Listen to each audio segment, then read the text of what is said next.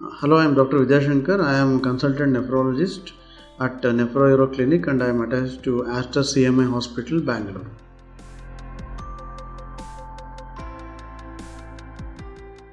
The kidney cyst can be silent as said, especially if they are simple cysts, they can be silent. Even if the patients get uh, the hereditary cystic disease, they also can be silent.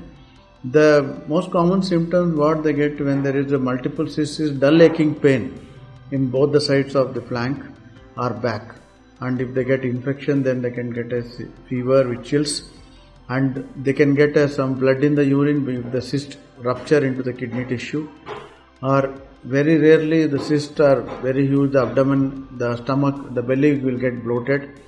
So most of the time the cysts are simple and most common presentation of this cyst if they are complex cysts are like what is it the polycystic kidney is high blood pressure. So you should keep a track on the blood pressure and keep a track on the kidney function. But by and large the kidney cysts are silent and they are detected only by routine scanning. And if there is any complication then it has to be addressed according to that